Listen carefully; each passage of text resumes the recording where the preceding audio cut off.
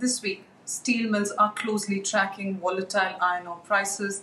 Australian high ash coal prices are likely to remain bullish, and uncertainty around wheat shipments from Ukraine sees buyers turning to Australian wheat.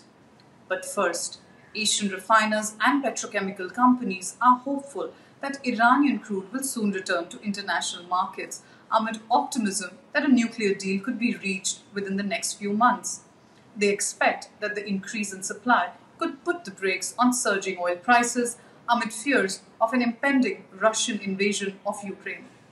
S&P Global Platts Analytics expects that an interim deal could potentially increase Iranian crude exports by 700,000 barrels per day.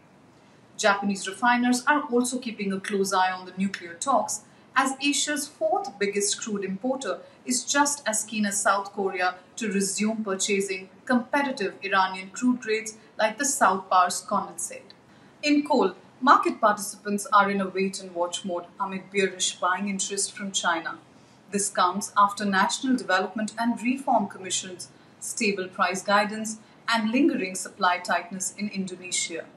Lack of supply supporting Australian high ash coal prices which are likely to remain bullish, buoyed by demand from the East Asian market. In metals, iron ore prices remain in the spotlight after a volatile week, with Platts benchmark IODEX declining sharply last week, closing at $133.5 per dry metric ton on a CFR China basis on February 18th. Buying interest has diminished as traders remain cautious amid news of heightened supervision in China such as ongoing survey on the iron ore stocks, which exacerbated market uncertainty. Regional steel mills, which had raised offers on account of cost push factors earlier in February, will also likely await clarity on future price direction. Separately, Japan is expected to report key data on crude steel production for January 2022. Production is expected to grow annually on strong support from the manufacturing sector. However, growing concerns on the domestic spread of COVID 19 could stifle the month on month growth. Further in steel, Platts is deepening its commitment to the expanding steel industry in India. It will publish a daily domestic rebar assessment and increase the frequency of its existing domestic hot roll coil assessment to daily effective February 22nd.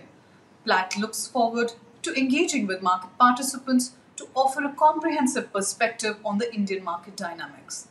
That brings us to a social media question for the week. Do you think Asian steel prices will drop further given China's regulation of iron ore prices? Share your thoughts on Twitter and LinkedIn with the hashtag PlattsMM.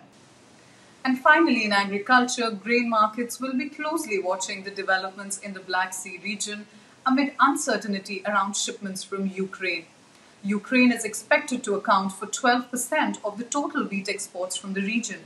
Southeast Asian buyers, especially from Indonesia, were seen ramping up inquiries for Australian wheat in recent week amid the Russia-Ukraine tensions. Besides Australia, India is also looking for opportunities to ramp up its wheat shipments to Southeast Asia. And don't forget to check out the fourth edition of the Platts periodic table of oil at the address displayed on your screen. As companies look to shift focus to less carbon intensive production techniques, carbon intensity has emerged as a new barometer in the oil industry. The table includes new crude grades and carbon intensity values to help you plan and make a more informed decision in the rapidly changing markets. Thanks for kicking off your Monday with us. Have a great week ahead.